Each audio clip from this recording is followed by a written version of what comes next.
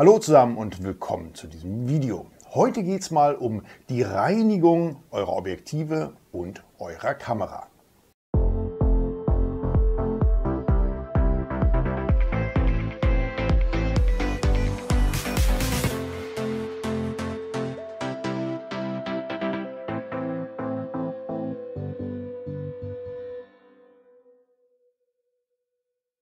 Warum sollte man oder muss man aus meiner Sicht eigentlich in regelmäßigen Abständen sein Objektiv und seine Kamera reinigen? Ganz klar, im Gebrauch ähm, fallen natürlich Spuren an. Das heißt, ihr habt zum Beispiel Fettflecke auf der Kamera, auf der Linse. Hier oben auch im Sucher ist so eine ganz klassische Geschichte, ähm, wo man mit der Zeit, wenn du mit dem Auge halt immer durchguckst, ähm, tja, irgendwie sind da immer Flecken drauf, das habe ich auch immer und dann kannst du nicht richtig durchgucken. Das Display hinten wird mal mit Fingerabdrücken, gerade wenn du ein Touch-Display hast, immer mal wieder voll getoucht und auch auf dem Kamerabody und auch im Objektiv selber äh, sammelt sich natürlich Staub, Krümel. Wenn du irgendwo am Strand warst, kann auch mal sich Sand da drinnen sammeln und das wirkt sich natürlich alles negativ negativ auf die Funktionalität in langer Sicht, ähm, also in langer Sicht gesehen, auf eure Kamera und aufs Objektiv auf. Deswegen ist es wichtig, beides in regelmäßigen Abständen mal zu reinigen. Jetzt gibt es die tollsten Tipps im Internet, ähm, die fünf äh, schnellsten Wege, wie ich meine Kamera zerstören kann. Ähm, auf viele dieser Sachen gebe ich nicht so sehr viel. Das heißt, da solltet ihr wirklich von vielen Sachen die Finger lassen. Viele Hausmittelchen, die dort angeboten werden, die sind wirklich totaler Müll und man kriegt schon für wirklich wenig Geld für überschaubare Investitionen ein gutes Reinigungsset. Ich zum Beispiel habe euch hier mal eins rausgesucht, das nutze ich selber auch. Ähm, das ist schon das dritte oder vierte Set, was ich in den letzten Jahren hier gekauft habe und zwar ist das von LensAid. Das kommt erstmal in so einer coolen Verpackung hier, ähm, kann man super in seinen Kamerarucksack packen und vor allem, ihr habt dort alles drin, was ihr für die Reinigung von eurem Objektiv und vor allem auch für die Reinigung der Kamera benötigt. Ich zeige euch mal, was in diesem Set drin ist. Das Set an sich kostet 1995, ist also wie gesagt, ähm, überschaubare Investition, aber ihr habt alles drin, um sowohl euer Objektiv und auch die Kamera damit wirklich gut zu reinigen. Das Gute ist, in dieser Verpackung, es ist ja alles drin, die stecke ich so in meinen Kamerarucksack und kann es dann eben auch unterwegs anwenden, wenn mal doch irgendwo, es war mal staubig oder sonstiges und ich merke, Mensch, ähm, Kamera möchte ich so vielleicht nicht in meinen Rucksack packen, habe ich das Set bei und dann könnt ihr super damit Objektiv und Kamera reinigen. Ich zeige euch mal, was hier drin ist. Und zwar haben wir hier einen Reinigungsstift als erstes drin. Ich packe das mal alles aus und dann zeige ich euch mal, wofür alles gedacht ist. Dann ist drin ein Blasebalg, finde ich auch sehr wichtig. Ähm, der ist sehr gut äh, gearbeitet. Er hat nämlich eine sehr, sehr feine Spitze. Und was ganz, ganz wichtig ist bei diesem Blasebalg, ähm, die Spitze ist hier in, diese, tja, in diesen Gummiblasebalg so eingearbeitet, dass sie nicht rausfliegen kann. Ne? Ich habe schon mal einen Blasebalg gehabt. Wenn du hinten drauf gedrückt hast, dann ist die Spitze immer abgehauen. Ist natürlich blöde, wenn du das irgendwo ähm, tja, im dümmsten Fall vielleicht, du machst deinen Sensor sauber, dann haut die Spitze ab, knallt dir auf den Sensor, kannst den Sensor kaputt machen. Sehr gut gearbeitet, wirklich sehr schön dieser Blasebalg. Dann haben wir drin ähm, einen Lippenstift. Nein, Quatsch, ist kein Lippenstift. Meine Frau auch erst, ey, super, du hast jetzt immer einen Lippenstift dabei, falls ich mal einen brauche, kann ich den nehmen. Ist kein Lippenstift, sondern das Ganze ist ein Pinsel, und zwar ein Reinigungspinsel. Mit sehr, sehr langen und sehr, sehr feinen Borsten kommst du gut in die Zwischenräume. Das Ganze bauen wir mal hier wieder zusammen. Genau, also kein Lippenstift. Liebe Frauen, braucht ihr euch nicht freuen. Und dann haben wir ein Reinigungsspray für Linsen drin. Und zwar, wenn ihr Fettflecke doch drauf habt oder auch eine ganz blöde Sache, kenne ich von der Hochzeitsfotografie. Ähm, die Hochzeitsgäste machen Seifenblasen. Ist natürlich super fürs Hochzeitspaar, fürs Brautpaar, aber wenn du die vorne auf der Linse drauf hast, dann hast du ein Problem. Die gehen nämlich gar nicht so leicht wieder runter. Gerade wenn sie so ein bisschen angetrocknet sind, hast du ein Problem. Dafür nehme ich zum Beispiel hier dieses Reinigungsset. Dann haben wir drin zwei Reinigungstücher. Ihr seht, es ist auch ein niegelnagelneues Set. Ähm, wir haben zwei Reinigungstücher drin. Die sind hier auch noch einmal zusammengeklebt, Klebestreifen ab und dann könnt ihr hier die auseinander machen und dann habt ihr zwei Reinigungstücher. Ich nehme übrigens die Reinigungstücher, ähm, habe immer zwei Stück auch und zwar nehme ich eins für die Nassreinigung, also zum Nachreinigen, hier wenn ich den Spray benutze und eins nehme ich wirklich nur dafür dann mal trocken rüber zu wischen. Ne? Also müsst ihr euch mal gucken, was ihr da auseinanderhaltet. So, und dann sind hier, tja, sieht so aus wie Wattestäbchen fürs Ohr, ist auch so ähnlich aufgebaut, aber die Konsistenz dieser Stäbchen äh, ist wesentlich fester und sie haben eine ganz feine Spitze. Super zum Reinigen, gerade ähm, zeige ich euch nachher auch gleich, wenn ihr zum Beispiel das Display oder andere Zwischenräume damit reinigen wollt. So, dann haben wir ähm, ein Linsenreinigungspapier noch drin. Finde ich auch eine interessante Sache. Sind zwei solche Blöcke drin, da habt ihr verschiedene ähm, Blätter hier dann drauf, die man abreißen kann. Die braucht ihr nämlich, wenn ihr dieses, ähm, dieses Spray nehmen wollt, das, die Feuchtreinigung für eure Linse. Zeige ich euch aber auch gleich. Sind zwei Blöcke hier mit drin, kommt in eine ganze Ecke mit. So, und zum Schluss haben wir nochmal Feuchtreinigungstücher, auch ganz wichtig. Ähm, heute ja auch antibakteriell und was auch immer. Ähm, nutze ich aber wirklich, um einfach feucht mal einmal drüber zu gehen. Die sind jetzt nicht so feucht, dass sie eure Kamera beschädigen könnten, aber du kannst damit eben mal äh, drüber desinfizieren. Du hast mal klebrige Hände gehabt, hast gerade vom Buffet genascht irgendwo, nimmst dann die Kamera, bob, hast du Zucker dran oder sonst irgendwas klebt, kannst du hier super feuchte Reinigungstücher nehmen. Auch hier, ich packe es mal aus, damit ihr sehen könnt, ähm, sind mehrere dabei. So, und damit fangen wir jetzt auch mal an, ganz einfach ähm, die Kamera zu reinigen. Und zwar so, wie ich es mache, wenn ich sage, okay, Mensch, äh, ich glaube, meine Kamera und auch mein Objektiv sind soweit, ich könnte jetzt mal kurz äh, drüber gehen. Mache ich auch, wenn ich ähm, nach einem großen Shooting irgendwo im Hotelzimmer bin, dann reinige ich einmal auch kurz hier meine Kamera und auch die Linse einmal drüber. Wir fangen mal ganz einfach an und zwar mit dem Objektiv. Das lassen wir mal, nehmen wir nehmen es mal ab, lassen es mal nicht drauf und nehmen mal unser Objektiv hier.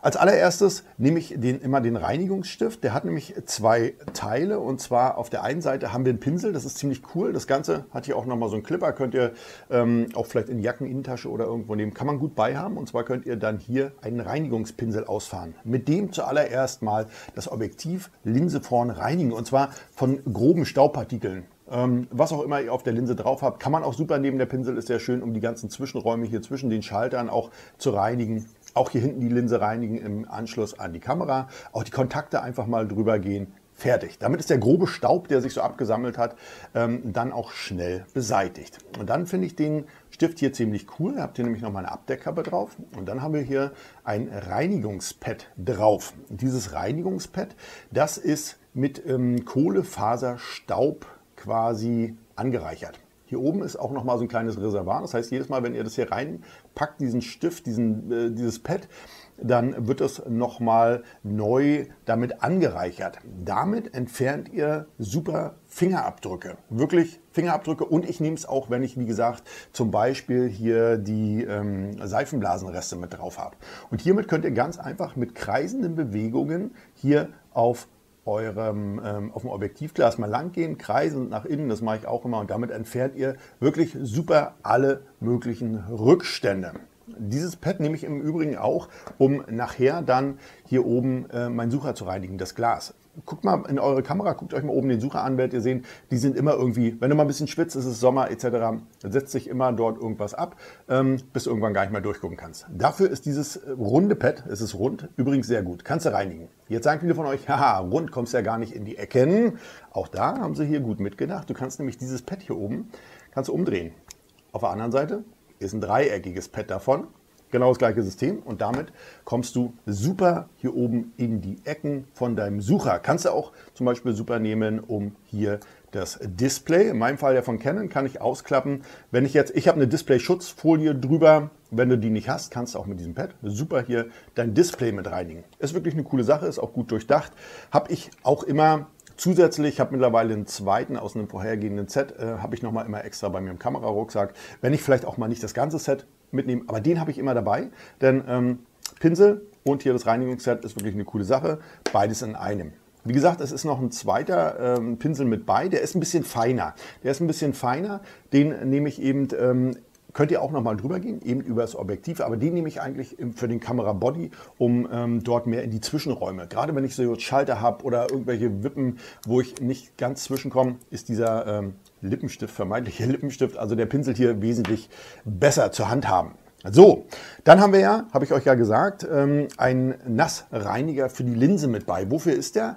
Ähm, wenn ihr vielleicht jetzt noch nicht alle Rückstände abbekommen habt, dann ist der Nassreiniger hier gut. Das ist ein Spray und da braucht ihr zum Beispiel auch das Linsenpapier dann für. Das heißt, anschließend nehme ich mir nochmal aus diesem Bogen hier, könnt ihr abreißen, ein so ein Linsenpapier, das falte ich dann einmal, sprühe dann einmal mit dem Nassreiniger hier drauf Könnt ihr auch machen, bedenkenlos. Ich mache das wie gesagt auch.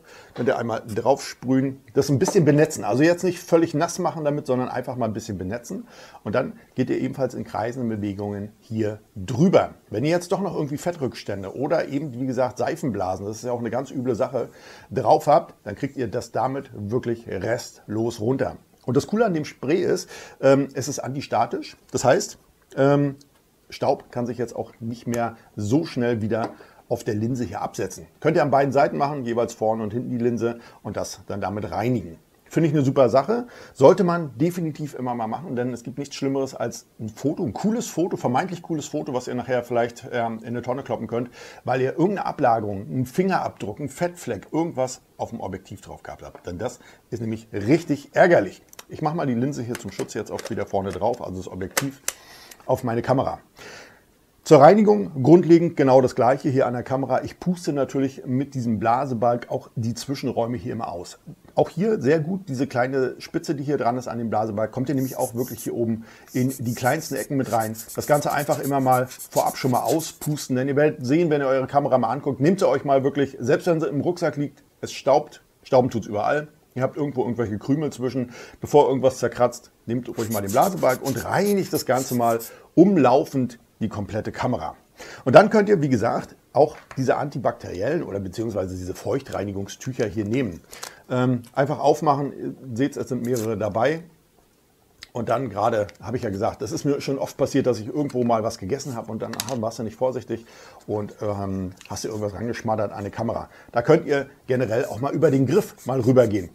Man riecht es auch schon. Ähm, es riecht ein bisschen wie so ein Desinfektionsmittel riecht schon so ein bisschen. Und dann könnt ihr ruhig mal über die Kamera rübergehen, gerade so die Stellen, Handgriff und so, die ihr habt und dann wirklich mal hier so, ja, die Bakterien und Verunreinigungen, die da drauf sind, da mal abwischen.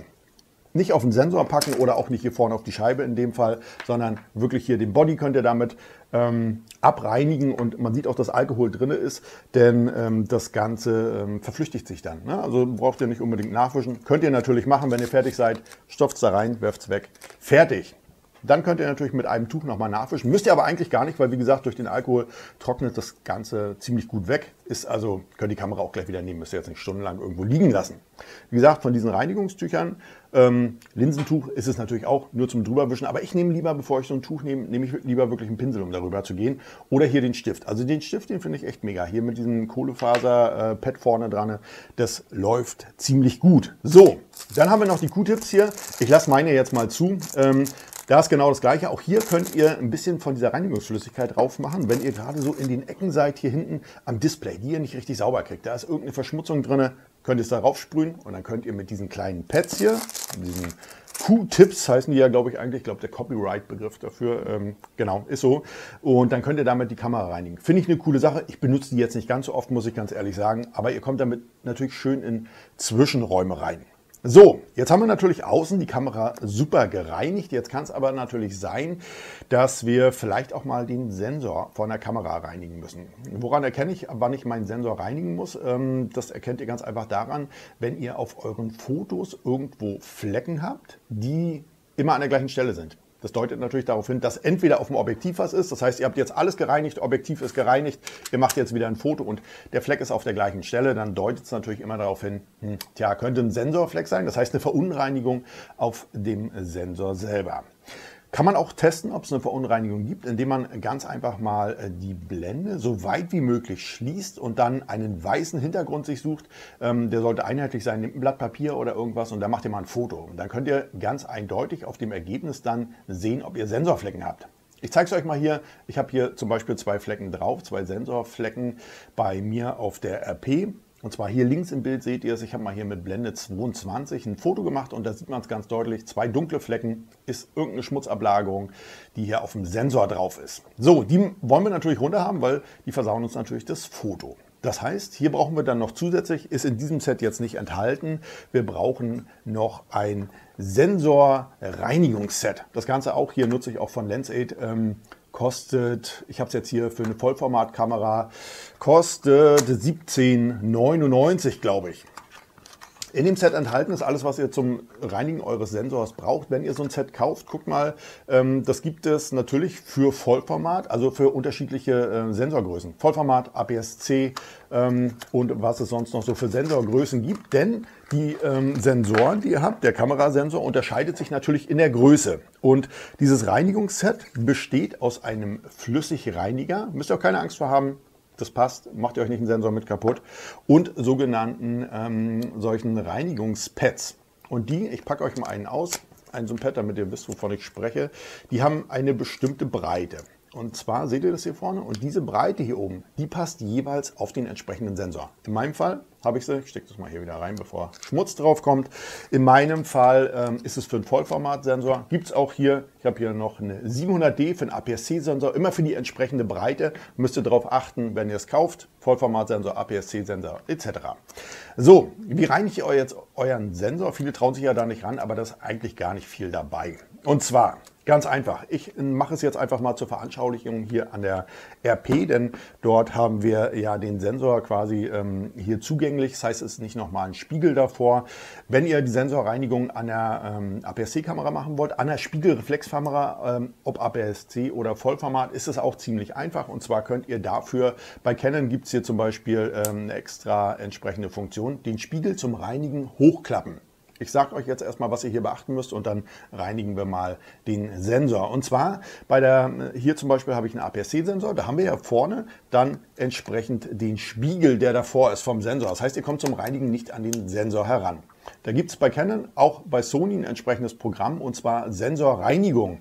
Dort gehen wir rauf und dann gehen wir hier bei Canon zum Beispiel auf die manuelle Reinigung und dann bestätigen wir das Ganze und dann steht hier nochmal, Spiegel klappt hoch, zum Sensor reinigen. Das Ganze auf OK bestätigen. Bevor ihr das macht, vergewissert euch bitte, dass der Akku voll ist, denn es kann natürlich sein, wenn ihr jetzt mit einem Akku das Ganze macht, der auf dem letzten Loch pfeift, ihr klappt jetzt den Spiegel hoch ähm, und reinigt dann den Sensor, dass dann, wenn der Akku alle ist, die Kamera ausschaltet, dann klappt der Sensor runter und im schlimmsten Fall habt ihr dann euren Sensor geschrottet. Also vollen Akku nehmen und dann im Menü hier Sensorreinigung auswählen. Jetzt gehen wir mal auf OK.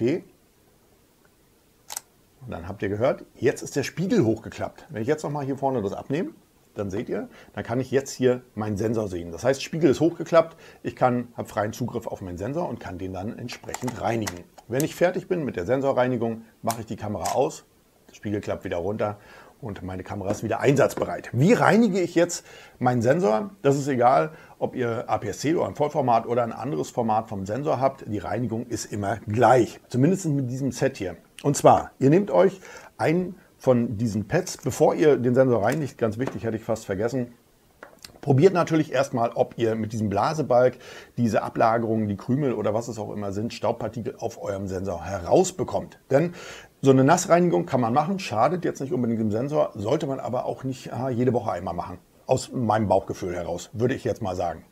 Das heißt, wenn ihr probieren wollt mit einem Blasebalg, wie gesagt, der geht hier sehr gut, ähm, die Verunreinigung von eurem Sensor herunterzubekommen. Kamera in die Hand nehmen, umdrehen, ganz wichtig nach unten, weil es nützt nichts, wenn ihr die Kamera so haltet und die Staubpartikel hier lustig umherpustet. Kamera so halten, dass der Sensor nach unten guckt und dann mit dem Blasebalg hier reingehen und entsprechend die ganzen äh, Ecken und Kanten hier, auch gerade wo die Ablagerung ist, einfach mal auspusten dran denken, wenn ihr einen Sensorfleck habt und auf eurem fertigen Foto ist der Sensorfleck oben im Bild, dann ist er auf dem Sensor hier unten. Also das Ganze ist nochmal spiegelverkehrt von Sensor auf euer Foto. Da müsst ihr dran denken, wenn ihr das vielleicht seht, manchmal sieht man auch so einen Krümel, ähm, ist immer spiegelverkehrt. Also, das Ganze auspusten, dann vielleicht auch nochmal probieren, ist auf meinem Foto, wenn ihr jetzt nochmal erneut ein Foto macht, ist dann der Fleck immer noch da oder ist er schon weg? Dann habt ihr hier die Sensorreinigung auch mit dem Blasebalg vernünftig schon abgeschlossen. Ansonsten braucht ihr einen Nassreiniger. Das Ganze auch ziemlich einfach, das heißt, ihr nehmt jetzt hier so einen Reinigungsstab raus. Dann nehmt ihr die Sensorreinigungsflüssigkeit und träufelt auf eine Seite, ich würde jetzt mal sagen, ein Tropfen. Ein Tropfen hier wirklich rauf machen.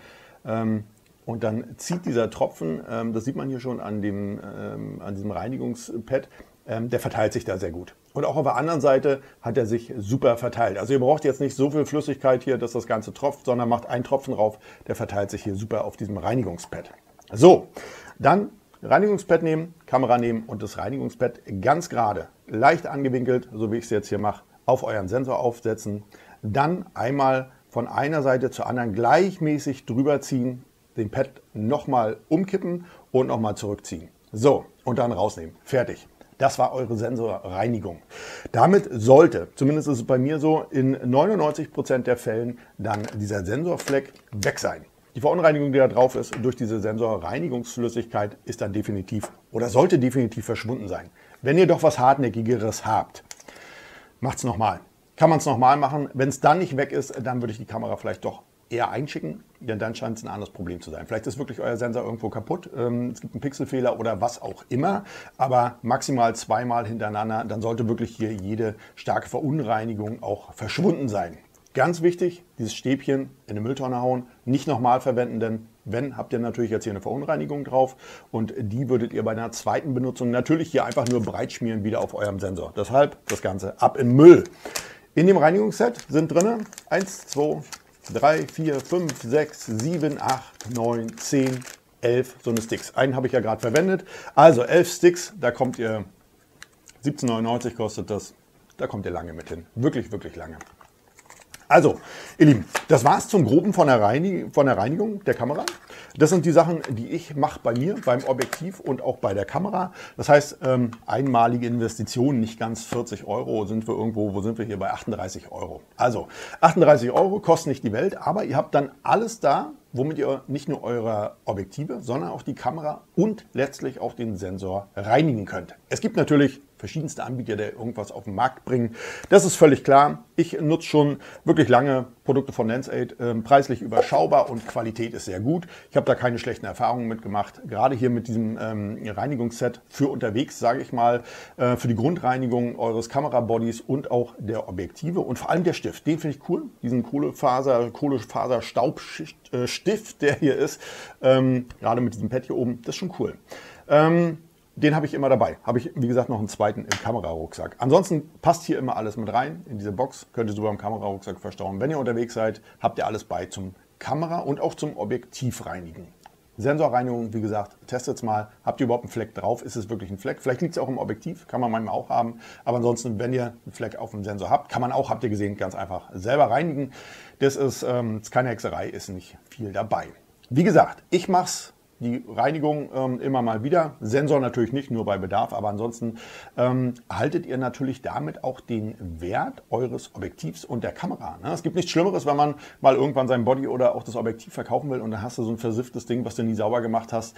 Ähm, ja, ist nicht gerade eine Wertsteigerung. Das heißt, auch den Wert eurer Kamera, eures Bodies und des ähm, Objektives könnt ihr natürlich hiermit äh, in gewissem Maße erhalten. So mache ich es bin ich gut mitgefahren. Denn ich bin viel unterwegs, viel draußen. Äh, es staubt, es regnet, es ähm, hast irgendwelche Flecken. Du fährst mal einen Kuchen an und danach deine Kamera.